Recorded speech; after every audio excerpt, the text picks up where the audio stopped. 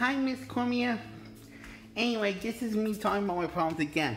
So in 2004, when I was six, on Christmas Eve, Mom took me to the video, uh, the movie uh, store, somewhere to get movies.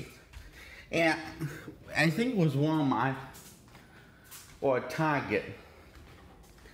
Anyway, those are great places to get movies. So, anyway, um, I'm not getting to the, I'm not, haven't gone to the bad part yet.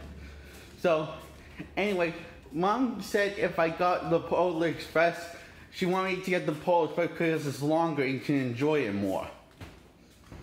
So she said she would make me hot chocolate, but I wanted, wanted something else. I wanted LazyTown's Christmas. So mom didn't make me hot chocolate. And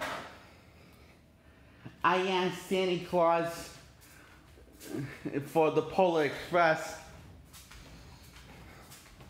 so that she could make me hot chocolate and she wouldn't be as upset at me. I felt like she was upset at me.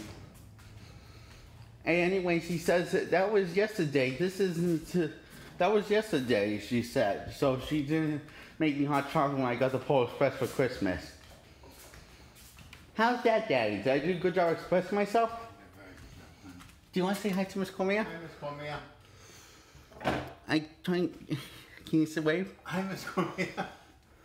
Hi, Miss Cormier. Yeah. We're starting the weekend early because tomorrow we're going to see Jasmine and Brianna.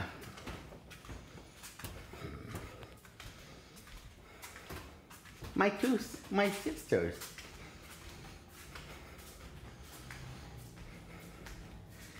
Yay!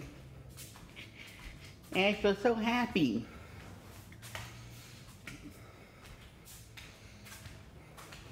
Deanna and Alyssa think of me as their little baby brother. And I'm so happy because I think of them as my big sisters.